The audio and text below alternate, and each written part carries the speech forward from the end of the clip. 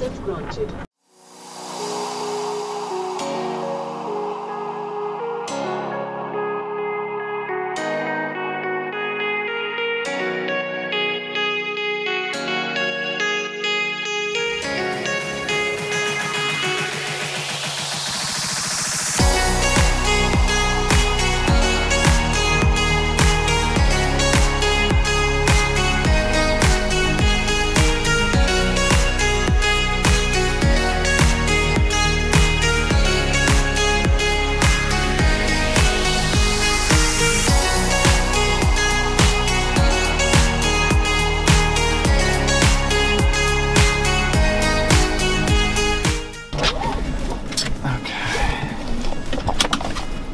Out some hay.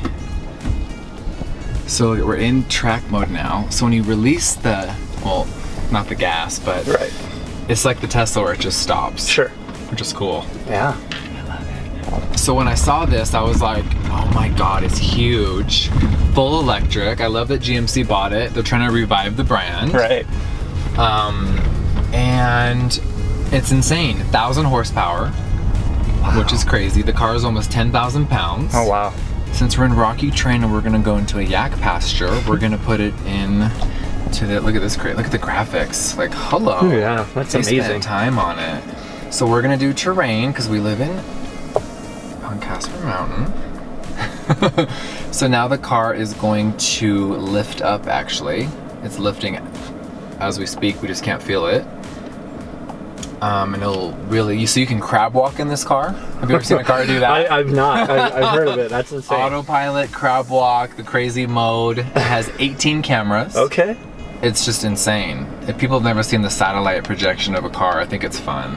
It's just such a, it's bizarre underneath. It even has, so if the under camera's dirty, you can spray it with fluid to Oh my clean gosh. it. They thought of everything. This is like the Batmobile. Yeah, and it's just silent. It's crazy. So the yaks love this thing because unlike a Polaris General, um, it's silent. So even though it's bulky, the yaks are like, oh wow. So they're more keen to be chill. I'm like, I get it. They're not huffing on fumes. No Right. emissions over here. Yeah, that's great. As I get on my private jet, my Rolls Royce is not. That's right. You and Taylor Swift. Oh, I, That's that's, right. See, I've borrowed a lot of my friends' jets, so it must look like they've taken a thousand trips too. I'm like, leave her alone. Right. People think I don't do anything, and I actually. Yeah, absolutely.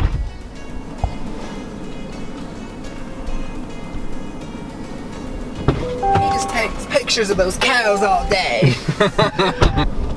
Everyone's just munching. Here we'll go. Move it, Dolly. We'll go in the middle so then they're on either side. That could be really cool. So, what has been some of your favorite parts about about living here in, in Casper? Is there anything that sticks out? I think, well, I'm, I think it's just because where I came from, it's so different. Sure. So I love having seasons. I know people make jokes. There's only two seasons in Casper, but there's several, and I'm enjoying all of them. I think living in California, where I was, it was just hot all the time, and it only really rained at night. You never got to enjoy lightning storms or thunder. Yeah, what do you think of that one we had a couple Oh. weeks ago? It was like five days of consecutive rain and lightning out Yeah. here, and it's so cool. I think living by the mountain, I get really cool weather. Sure. Sometimes more so than in town. Um, sometimes I feel like I'm in Hawaii out here. but I love the blizzards. I love the snow. It's just different from what I'm used to. So I'm ready for it. But I get it. If I grew up here, I'd be ready probably to move to, you know, Florida. Sure. Yeah. Do you want to try the lock, the rocket launch mode? Yeah. What is that? We're gonna give it a whirl. We gotta go on the highway. so Okay. we're going on a field trip. sure.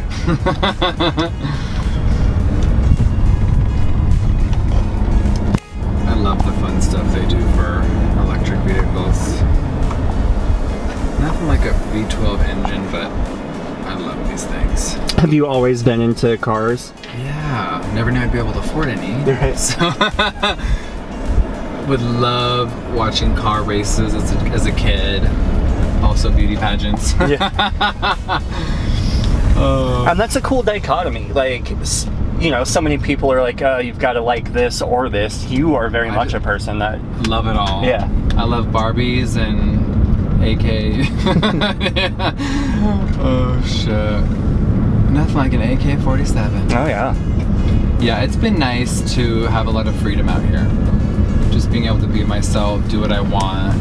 It's nice living on a ranch where you can just open your back door and target practice for fun. Sure.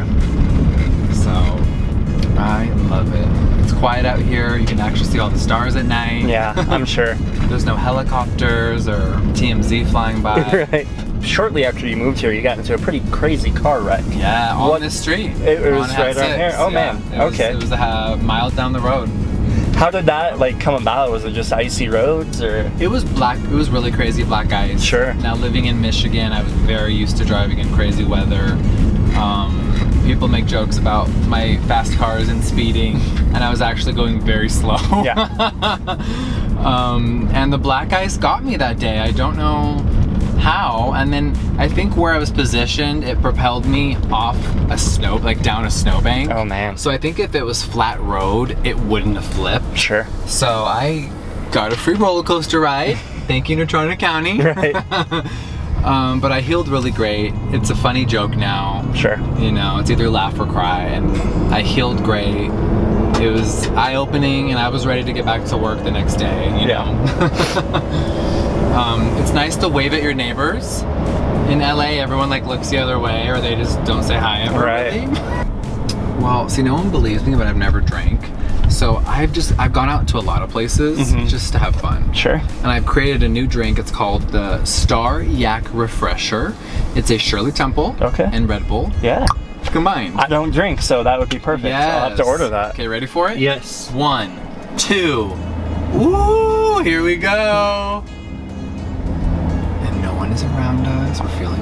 It wants me to. We're lowering the vehicle now. Instead of going up, we're now lowering. We're putting this new baby through the works. it's so cool that a Hummer can do this. Oh yeah. It's nuts. We're used to, you know, because when the recession hit years ago, everyone was like, we can't afford our Hummers anymore.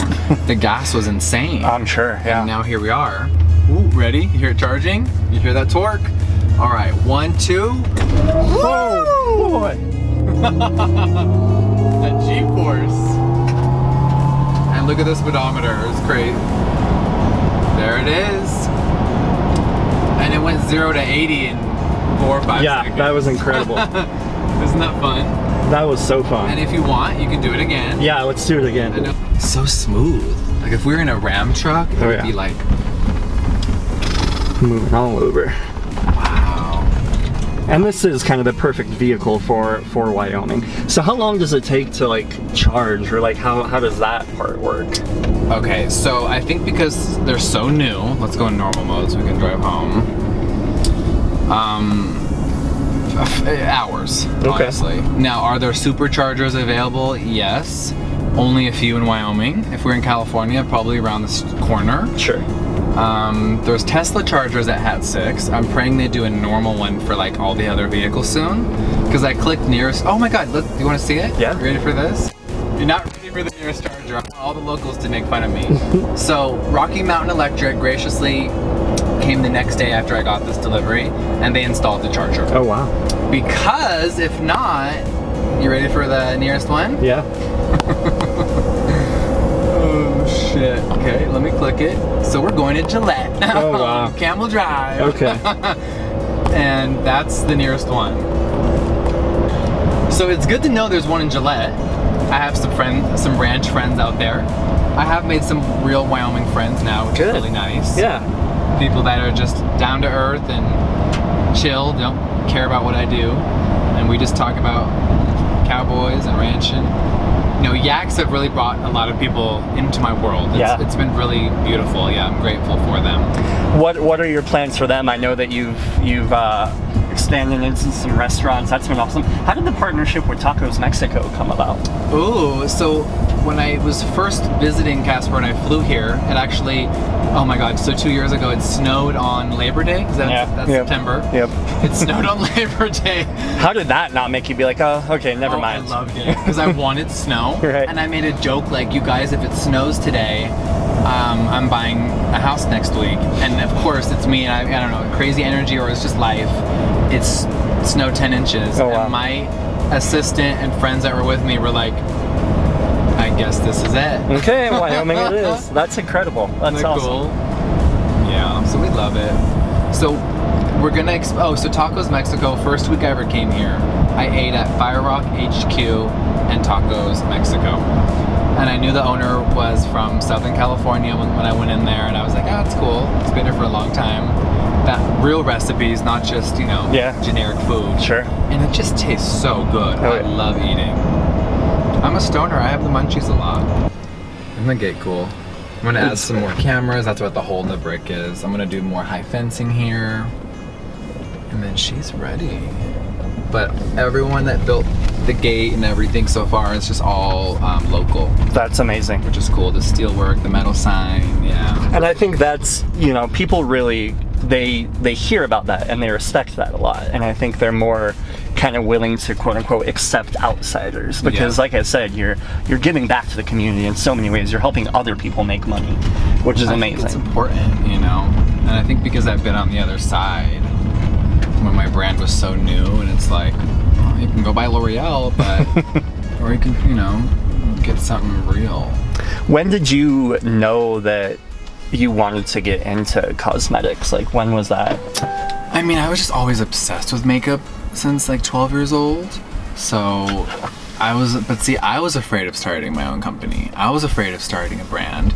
So when my music career was um, not going where I wanted it to go, it was like, oh my god, am I gonna go work at the Mac counter again? Or am I gonna finally believe in myself with this new thing? So I just said, you know what? I'm going full on. I was not about to go be at the makeup counter at the mall anymore. Sure.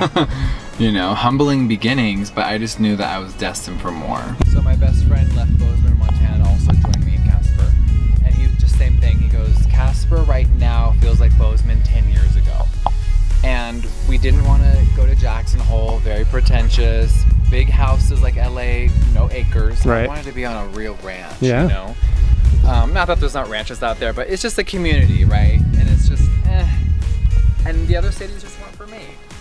And I found Casper, loved the vibe, loved the food, loved how nice everyone was. Everyone was so helpful. Everyone was asking, "How are you?" versus What can you do for me? "Who are you? What can I get out of you?" Da, da, da, da. Um, and everyone was really positive. Is there a few people that don't get me? Yeah, that's everywhere. Yeah. I think it's funny. Sure. Um, no one really bothers me. I'm not going anywhere. I've been through two winters and she's still here. Um, and I love it. I, I've really embraced this town. I I love being here, and we're excited to grow our yak business. I think Casper is going to be the hot spot of yaks for America, Yeah. Wyoming in general. And I think the next phase is a retail spot.